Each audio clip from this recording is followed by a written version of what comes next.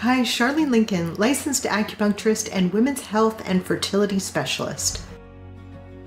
And first time mama at 42. In this video, I'm going to give you tips for getting pregnant. You will learn the surefire best way to identify your most fertile days and therefore know when the best time to conceive is for you. When do I ovulate? Myth. Women typically ovulate on day 14. Fact. Women can ovulate on any day of the month, minus when menstruating, and it can vary from month to month. Myth. Ovulation predictor kits tell you when you ovulate. Fact. Ovulation predictor kits tell you when you have an LH surge. However, an LH surge is not always followed by ovulation. What is a reliable way to know your most fertile days?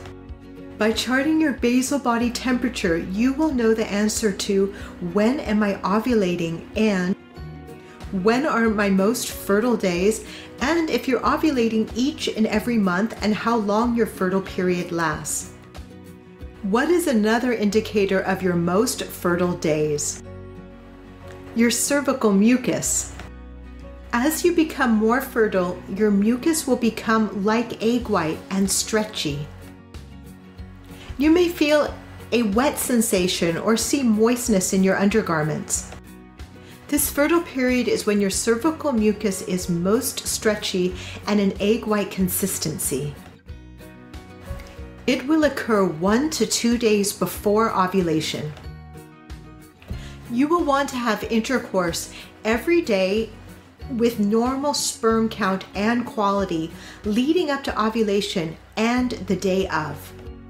Sperm can survive five to seven days and an egg 12 to up to 24 hours. Fertile cervical mucus act as tracks for the sperm to swim and fertilize the egg. What else will regular charting reveal? Slow to rise temperatures in your luteal phase, the phase following ovulation, can indicate progesterone deficiency. What role does progesterone play in conception and pregnancy? Sufficient progesterone is needed to build up the uterine lining for implantation of the embryo as well as carrying a baby to term. Low levels of progesterone is one cause of miscarriage. Charting will also help identify potential adrenal and thyroid issues which have been linked to infertility. If you like this video and want to learn more, please like, subscribe, and comment below and learn how to take charge of your fertility at howtocureinfertility.info.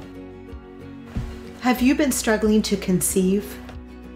I'm hosting a free live Q&A webinar where we discuss the most common and surprising reasons for inability to conceive and what you can do to take charge of your fertility now. Go to howtocureinfertility.info to register. Space is limited. And find out how I became a first time mom at 42.